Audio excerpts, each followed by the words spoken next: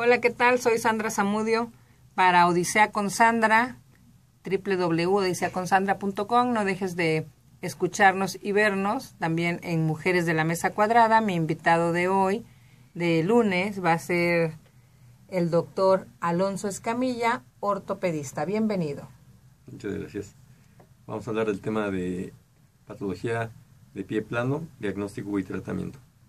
También vamos a ver sobre, ahora sí, las pisadas de las mujeres. desde que son niñas, si tienen pie plano, entonces eso repercute a la edad adulta y la mejor edad para reconstruir o mejorar es en la infancia. ¿No es así? Es parte del tema que tenemos que tratar. Así es.